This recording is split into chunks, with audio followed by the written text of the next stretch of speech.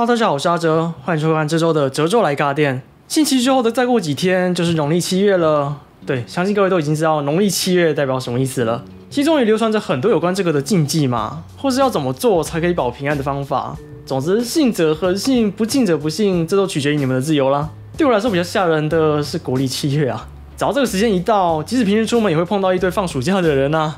对，就是说你们啦，还是放暑假的各位都给我乖乖待在家看影片啦，不然每次出门都人挤人的。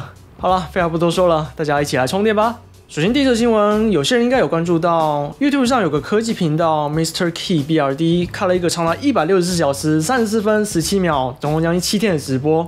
直播内容就是反复用手开盒折叠手机，对，将近七天的时间都在做这件事。他们拿了 Moto 的 Razr 四十 Ultra，还有三星的 Z Flip 五，以人工的方式像这样一直用手开跟关，来测试他们的转轴与荧幕耐久度。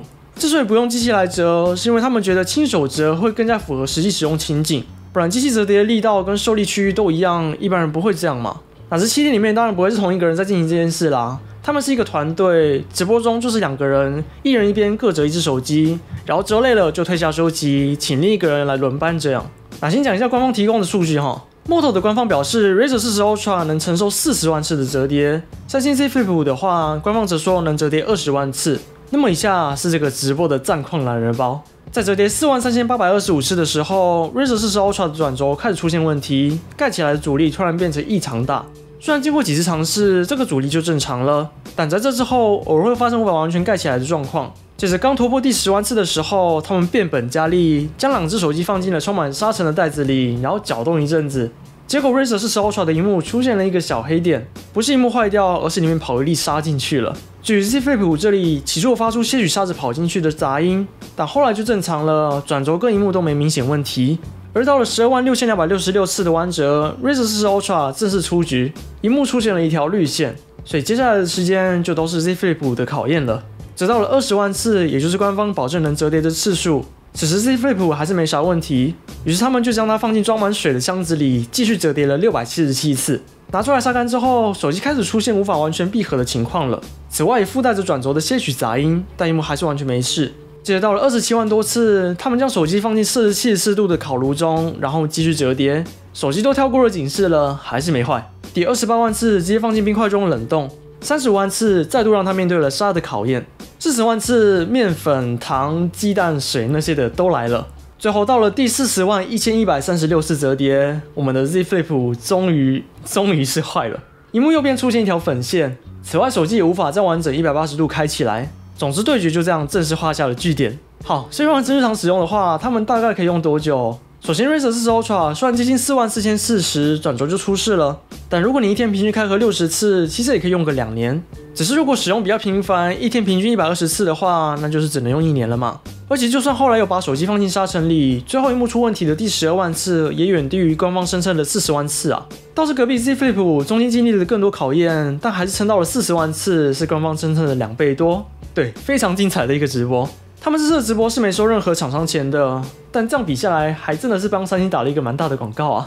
不过这个实力也确实强就是了。而且我相信很多人点进直播想看的是那些正在折叠的人员一脸生无可恋的样子。因为他们要做的真的就只有反复折叠，然后看手机正不正常而已。此外，他们其实在去年也有做过这种测试啦，当时是测了自己 Flip 三，然后也是撑了三十五万多次后，转轴上有明显问题。反正就辛苦他们了，也辛苦手机了。接着第二则新闻，荧幕前的各位，是我正在使用 Windows 十一这个作业系统呢？之前 Win 十一刚出的时候，我就有在抱怨一件事情了，那就是底下这条工作列只能显示应用程式的 logo，而且如果同个 app 有开启多个视窗，那它都会合并起来，没办法分开检视，不能像 Windows 十一样可以自由的调整自己想呈现的样子。像我就是习惯不合并啊，这样目前开了哪些视窗一目了然。所以当时 Win 十一砍到这功能，我很不能接受。是之后有外挂可以把它给叫回来，我才肯升上去的。只是预设只能合并的做法，很多人也不能接受啊。此外，像是工作列图示大小、摆放位置等等，也都是 Win 十一拿掉的功能。很多使用者反映抱怨给微软，但他们之前也都没有及时做出回应。不过今年七月，就网友在这个即将推出的 Windows 十一二三 H 的版本中，发现了一个好消息。对，微软把工作列取消合并的功能给加回来了。虽然这在 Win 十上就是个很基本的东西，但在 Win 十一可说是亏了两年之久啊。对，一个可喜可贺的消息，虽然对我来说是有点无感的啦，我自己早就透过外挂改成不合并了。不过微软终于想通了，这终究是件好事。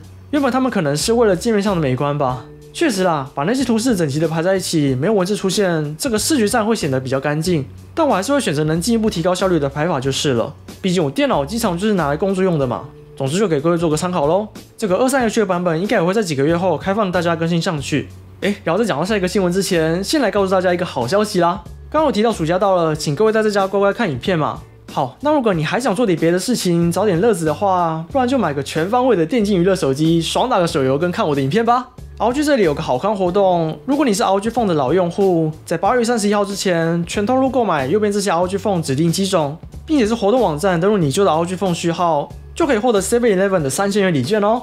那好，如果你之前没拥有过 ROG Phone 也没关系，偷偷跟你说，我这边还有个专属序号，输入这个序号也同样可以获得这个 Seven Eleven 三千元礼券。另外，这个 ROG Phone 六的十六 G 加五六 G 版本，现在 ROG 官网与 PC Home 分别有五千元与最高七千元的限时折扣，两个活动是可以并用的，加起来只要两万多就可以买得到，就给各位参考一下喽。活动网址 Q 码在这个地方，我会把相关的网址放在影片说明栏。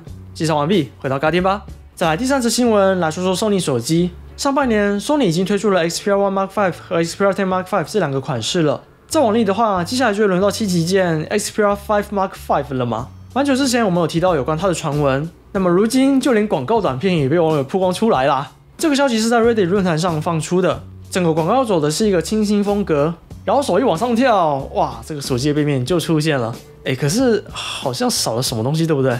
是的，这个后镜头居然少掉一颗了。官方还特写这个镜头部分好多次，感觉好像是他们在强打这部分一样。然后正面的话，看起来就是同样的二十一比九无刘海挖孔设计，也配上了利落的直角边框，而且看来三六毫米的好文明依然存在。然后最后上了 New Phone New Me 这个 slogan，并且三种颜色一次到齐了。好，我们将画面暂停在这边，它看起来真的就很像 Xperia One Mark Five 的镜头模组，然后少了一个眼睛啊。目前还没证实是少了望远镜头还是超广角镜就是了。只不过这个蔡司贴心镀膜的商标还是在的。然后对，除了黑白之外，看来还会推出右边这个颜色。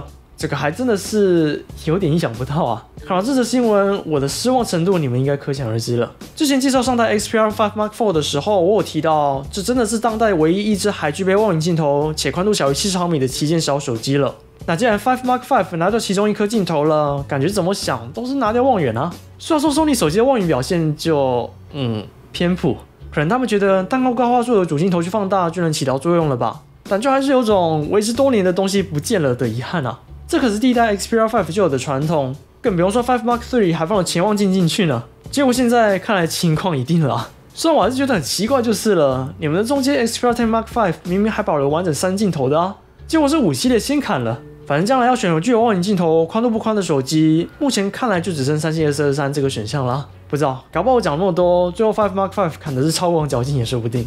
那既然都说到三星了，就来看第四则新闻吧。近期有外媒发现，在 Geekbench 效能测试网站中，找到可能是三星 Galaxy M44 的跑分结果。据资料表示，它会有六 G 的 RAM，且搭载 Android 十三。那由于 Android 十四即将在不久后的未来推出嘛，所以这台手机应该是会在 Android 十四这之前发表。但这些都不是重点，最耐人寻味的地方在于它的处理器。既然称作 M44，那就代表它是三星的中低阶手机。以往 M 系列大多都是采用自家的 Exynos 处理器，偶尔也会用上高通跟联发科啦。但无论如何都不会跟旗舰等级扯上关系。结果这次 M 四四根据数据上显示，居然采用了高通三年前的旗舰喷火龙 S 八八八。